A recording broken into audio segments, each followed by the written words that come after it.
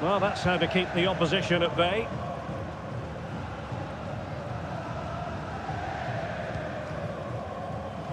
Rafa.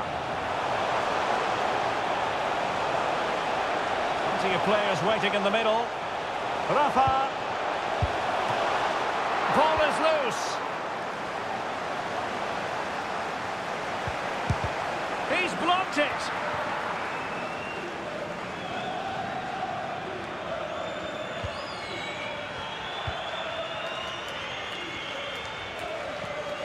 Branco van den Boomen.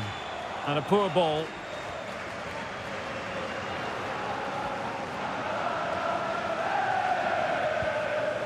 Florentino. Well, he went strongly into the challenge, and the result is a throw-in.